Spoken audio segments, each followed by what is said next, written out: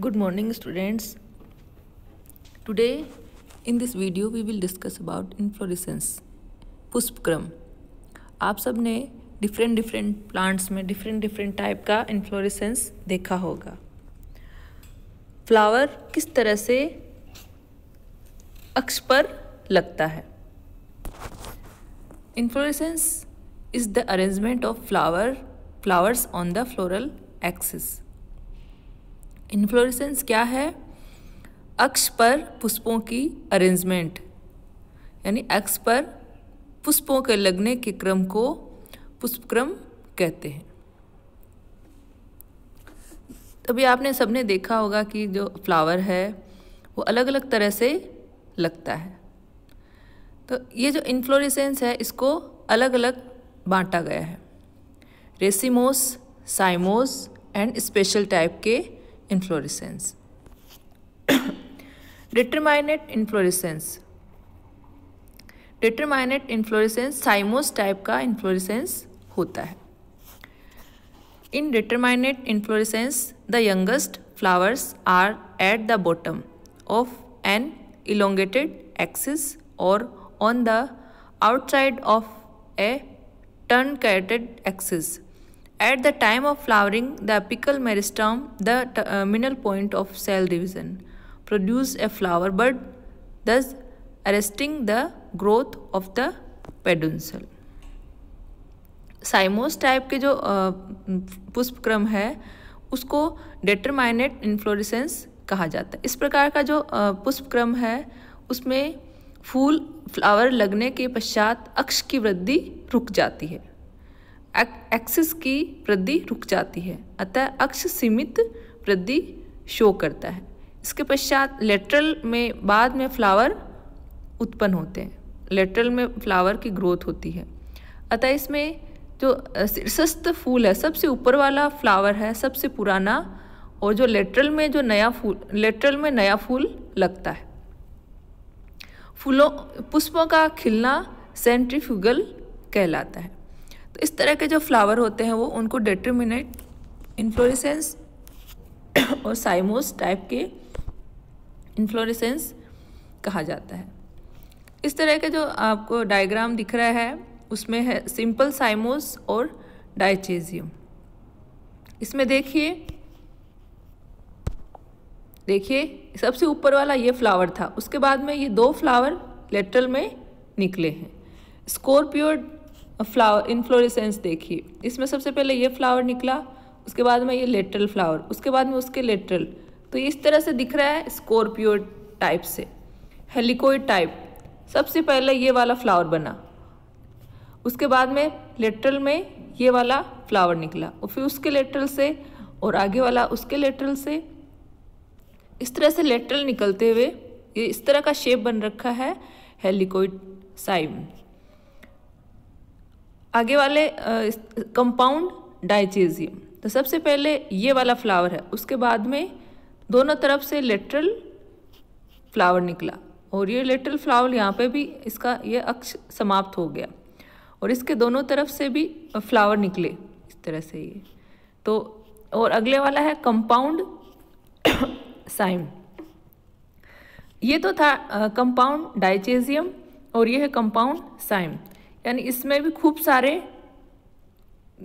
Saim type के inflorescence लगे ये, यहाँ पे ये अक्ष सबसे ऊपर, उसके बाद में ये निकले, उसके बाद में ये निकले। तो जो सबसे पहले बनने वाला फ्लावर है वो वहाँ पे उसकी वृद्धि रुक जाती है।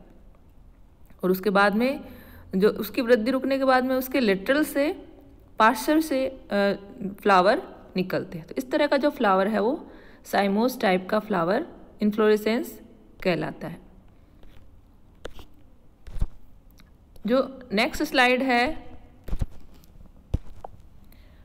in determinate inflorescence in indeterminate inflorescence the youngest flower are at the top of an elongated axis और on the centre of a truncated axis. An indeterminate inflorescence may be a raceme panicle, spike, catkin, corymb, umbel, spadix और head. इस तरह से देखिए diagram spike, ये वाला। Raceme corymb round umbel, flat umbel, capitulum और head. Panicle, compound corymb compound umbel. इस तरह।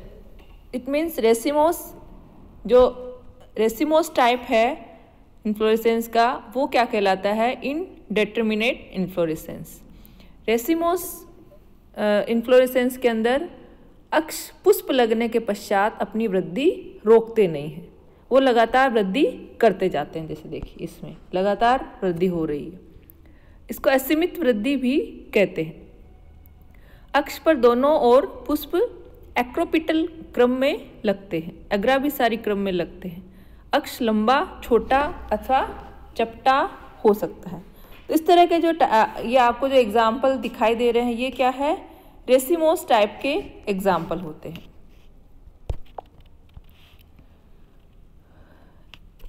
इसमें सबसे पहले हम जो देखेंगे वो है रेसीम टाइप का। रेसीम टाइप का इन्फ्लोरिसेंस इस ये वाला। रेसिम टाइप का जो इन्फ्लोरिसेंस है, उसमें देखिए क्या होता है। जब वैन पेडुंसल और is elongated and flower are pedicellated आपने मूली में रेडिस और मस्टर्ड मूली और सरसों, इसके इन इन दोनों के अंदर रेसिम टाइप का इन्फ्लोरेसेंस पाया जाता है। आप कभी खेत में जाए या फिर आसपास में लगे हुए हो तो मूली और मस्टर्ड जो सरसों जिसको बोलते हैं, उसको देखना, उसमें इसी तरह का पुष्पक्रम होता है। यानी ये जो डायग्राम दिख रहा है आपको, इस तरह का। यानी दोनों तरफ़ एक इधर से निकल रहा है, इधर से निकल रहा है, और ये कभी रुकता नहीं है। ये इसी तरह से आगे चलता रहता है। दूसरा है स्पाइक टाइप का। Spike here the peduncle is elongated but flower are sessile same रेसी रेसिम जैसा ही होता है। इसका एग्ज़ाम्पल है एकायरंथस रेसीम जैसे, लेकिन इसमें क्या नहीं होते? पेडू इसका जो फ्लावर है उस सेसाइल होता है। यानी फ्लावर का फ्लावर का जो व्रंत जिसको आप व्रंत कह सकते हो जिस तने से जो फ्लावर एक्स से जहाँ पे फ्लावर लगता है उसमें ये देखिए ये अक्स है और यहाँ पे ये फ्लावर लग रहा है। इसमें आ, फ्लावर जब एक्स से लगता है तो इसमें व्रंत नहीं है। सिंपल भाषा में कह सकते हैं कि इसमें व्रंत नहीं है। पेडिसिलेट और ये देखिए इसमें बड़ा सारा आपको दिख रहा है ये ये पेडिसिलेट है। और इसको जब व्रंत नहीं होता तो उसको बोलते सेसाइल तो इसमें देखिए, किसी भी तरह का कोई जब फ्लावर एक्स से लग रखा है तो ये बिना किसी व्रंत के है। और रेसिम और स्पाइक दोनों सेम है, लेकिन इनमें क्या फ़र्क है? इनके अव्रंत होता है ये। इसमें व्रंत नहीं होता। इसका एग्ज़ाम्पल अमरेंथस भी है अकायरेंथस भी होता है। तीसरा है catkin. The peduncle is thin long and weak the flower are sessile and unisexual example mulberry betula oak और इसका देखिए आप एग्ज़ाम इसमें देखिए। कैटकिन, इसमें है नहीं डायग्राम में।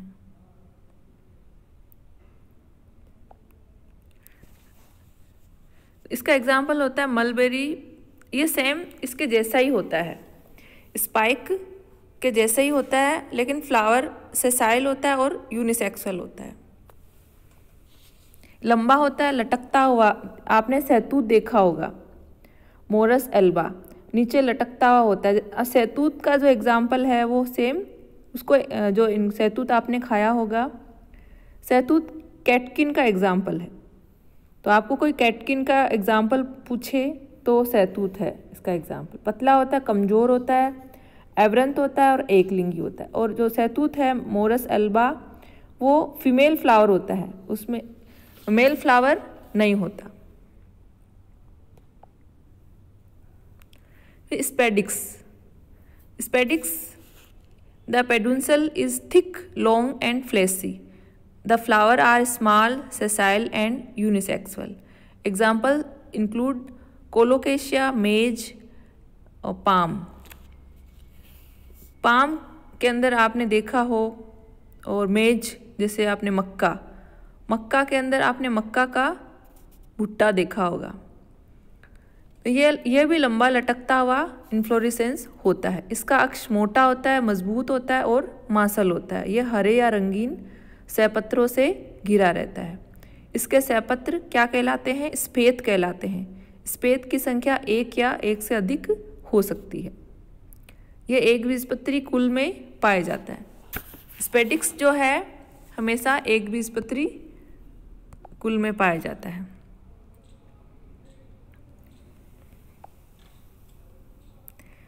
तो अब मक्का आपने सबने देखा है। मक्का का ऊपर जो आपने ग्रीन कलर मक्का का भुट्टा आपने सब दे, सबने देखा है तो इस मक्का के भुट्टे के ऊपर जो ग्रीन ग्रीन कलर के आपने छिलका जिसको बोलते हैं वो क्या कहते हैं? उसको क्या कहलाते हैं वो? स्पेत कहलाते हैं। स्पेडिक्स एग्ज़ाम्पल आप मक्का के अंदर देख सकते हो corymb. The peduncle is short and all flower are present at the same level because the flower sorry the lower flower has much long pedicel than the upper one example candytuft corymb का example आप इसमें देखिए, ये वाला diagram देखिए। इसमें देखिए, सबसे नीचे वाला सबसे बड़ा। यानी ये ऊपर आके एक दूसरे के बराबर है, एक दूसरे के इक्वल है। तो इस तरह का इन्फ्लोरिसेंस कोरिम्ब कहलाता है आइबेरिस अमारा में भी इस तरह का एग्ज़ाम्पल होता है इसके बाद में देखिए umbel an inflorescence in which the flower stalks are of more or less equal in length arise from the same point. At the base of flower stalk there is wall of bracts forming the involucre. इसका example है Centella इसमें एक छोटा सा प्राथमिक अक्ष होता है सबसे पहले जिसमें फूल लगता है। और उसके बाद में देखिए आपको डायग्राम दिखाते हैं। ये देखिए, ये वाला, अम्बेल। ये देखिए, एक ही जगह से खूब सारे फ्लावर लग रहे हैं। व्रंतों की संग, इसमें लंबाई है, समान है। यानी एक दूसरे से व्रंत छोटे बड़े नहीं जैसे कोरिम्ब में देखिए ये व्रंत एक दूसरे से छोटे बड़े हैं। वैसे इसमें अम्बेल में छोटे बड़े नहीं हैं। अक्ष साखित होते हैं। शाखाओं पर भी जो पुष्प लगते हैं, उनके व्रंतों की लंबाई आप समान देख रहे हैं। पुष्पों के सभी व्रंत एक बिंदु से निकलते हैं देखो। इसमें सभी व्रंत जो है, ये यहाँ से एक बिंदु से निकल रहे हैं। इसमें लेकिन एक बिंदु से नहीं है। पुष्पों के व्रंतों की समान लंबाई के कारण सभी पुष्प एक तल पर आ जाते हैं। इस तरह से एक तल पे आने के बाद में, आने के कारण क्या कहलाता है? राउंड अम्बेल बन जाता है। पुष्पक्रम में सैपत्रों का चक्र बनाता है। ये देखो, ये सैपत्र है, ये वाले जो नीचे निकल रखे इनको इन्वोल्यूसर कहा जाता है, ये वाले नीचे लीफ लाइक स्ट्रक्चर इनको इन्वोल्यूसर परिचक्रक कहते हैं। प्रत्येक पुष्प का अपना सैपत्र होता है। यानी जितने फ्लावर होंगे, उन सब के अपने अपना अपना इन्वोल्यूसर होगा। ऐसा एग्ज़ाम्पल आप धनिया कोरियंड्रम सेटाइवा के जो फ्लावर होते हैं, उनमें आप देख सकते हो। फोइनिकुलम के अंदर भी ऐसा होता है। यानी एपीएससी के जो एपीएससी के फ्लावर है एपीएससी कुल के फ्लावर है, उनके अंदर ये देखा जाता है।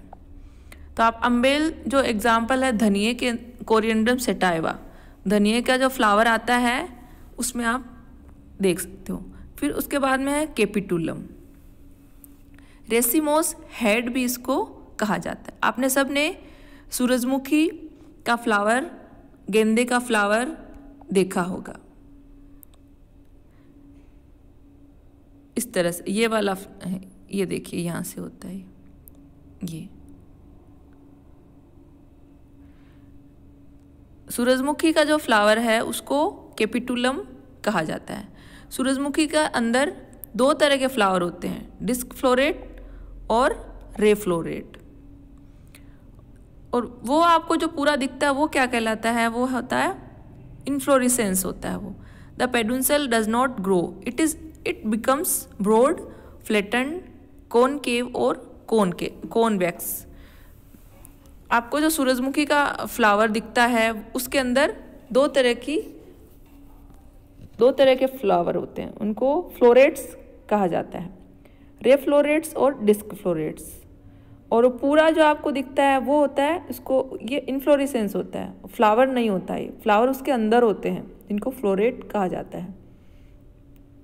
तो कैपिटुलम जो है, वो ऐसी माक्षी इसको रेसिमोस टाइप का इन्फ्लोरिसेंस कहते हैं। इसमें कई सारे इसमें व्रंत नहीं होते। इसके जो इनके अंदर भी फ्लोरेट्स होते हैं, उनके अंदर ये भी एवरंत होता है सेसाइल होता है। एवरंत होता है, नलिकाकार पुष्पक समूह में लगे रहते हैं। कैपुटुलम में भी दो तरह के, दो तरह के होते हैं हेट्रोजिनस और होमोजिनस जिसमें सभी फ्लावर एक जैसे हो। यानी रो रेफ जैसे मैंने बताया कि दो तरह के फ्लोरेट्स होते हैं, रे फ्लोरेट्स और डिस्क फ्लोरेट्स जिसमें सभी एक डिस्क फ्लोरेट हो या फिर सभी रेफ्लोर फ्लोरेट्स हो तो उनको होमोजिनस कैपिटुलम कहा जाता है, समजात मुंडक। और जिसमें अलग दोनों हो, रे फ्लोरेट्स भी हो डिस्क फ्लोरेट हमेशा डिस्क में होते हैं, रे फ्लोरेट्स परिधि पर होते हैं। तो इस तरह का जो फ्लावर इन्फ्लोरिसेंस है, उसको हेट्रोजिनस विषमजात मुंडक कहते हैं। तरह का एग्ज़ाम्पल आप सूरजमुखी, गेंदा एजिरेटम इसमें देख सकते हो। तो ये सभी क्या थे? साइमोस टाइप के इन्फ्लोरिसेंस के टाइप जिसमें फ्लावर का अक्ष एंड नहीं होता, असीमित होता है, आगे तक बढ़ता जाता है। साइमोस दूसरा जो टाइप है वो है साइमोस साइमोस टाइप का इन्फ्लोरिसेंस है वो हमने पढ़ा है, जैसे मैंने बताया अभी। साइमोस के अंदर पुष्पक्रम इस तरह के इन्फ्लोरिसेंस में फूल लगने के पश्चात अक्ष की वृद्धि रुक जाती है और दोनों तरफ़ लेटरल से नए फ्लावर निकलते हैं। तो इस तरह का जो फूल शीर्षस्थ फूल सबसे पुराना होता है और लेटल में लगने वाले फूल जो होते हैं वो नए होते हैं। तो इसको भी अलग अलग टाइप में बांटा गया। Uniparous, cymose, dichasial multiparous cymose. जैसे आप डायग्राम में मैंने दिखाया था, ये वाले।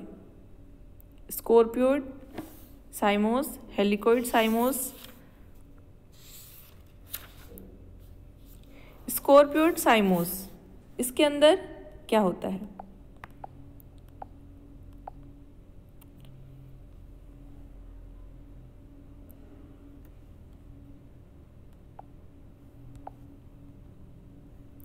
स्कोरप्योड साइमोस में यह एक साखी ससीमाक्ष के अंदर आता है, यानी मोनोचेजियल साइम जिसको बोलते हैं, यूनिपेरस साइम या फिर monochasial cyme.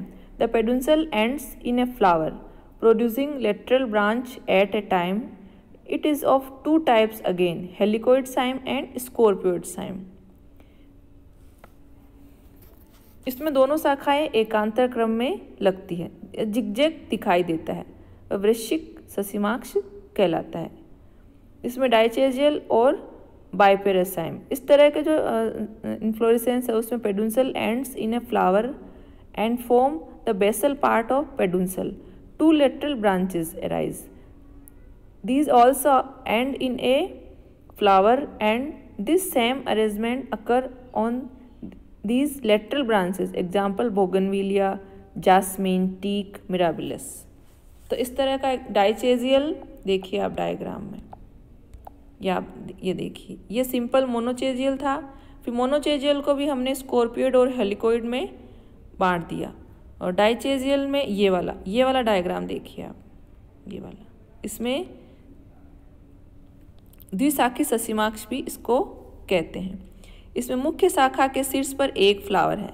मुख्य शाखा सीमित वृद्धि हो गई इसमें। पुष्प के नीचे से लेटरल में देखिए दो शाखाएँ निकल रही है। जो पुष्प, ये देखिए, ये वाला पुष्प भी एंड हो गया।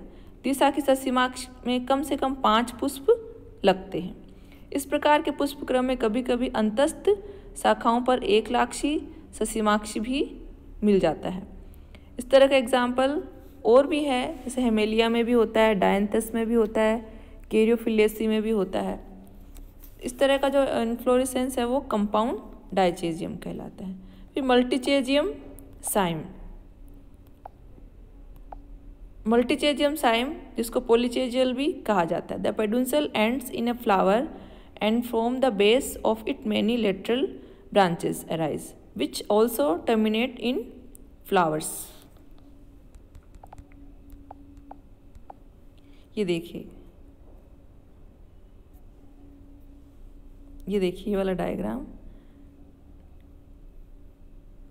मुख्य शाखा पुष्प में समाप्त हो गई। अक्ष सीमित वृद्धि हो गई। इसके मुख्य अक्ष से कई शाखाएँ निकल रही यहाँ पे भी निकल रही है, ये निकल रही है निकल रही है। और सभी के शीर्ष पर पुष्प लगते हैं। ये पुष्प क्रम छत्रक समान दिखाई देता है। इसलिए इसका नाम कंपाउंड मल्टीचेजल साइम भी कहते हैं और कंपाउंड साइम भी कहते हैं। यह पुष्पक्रम छत्रक के समान दिखाई दे रहा है, क्योंकि सभी पुष्प लगभग एक ही तल पर उपस्थित होते हैं। एग्ज़ाम्पल इसका केलाट्रोपिस ये तो दोनों टाइप के जो पुष्पक्रम थे थे साइमोस और रेसिमोस। इसके अलावा कुछ स्पेशल टाइप के इन्फ्लोरिसेंस भी होते हैं। विशिष्ट टाइप के पुष्पक्रम भी होते हैं।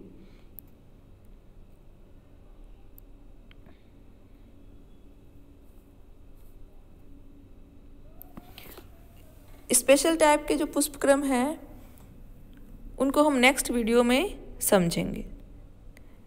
In corona time, be safe be safe, use mask, use sanitiser, take care bye bye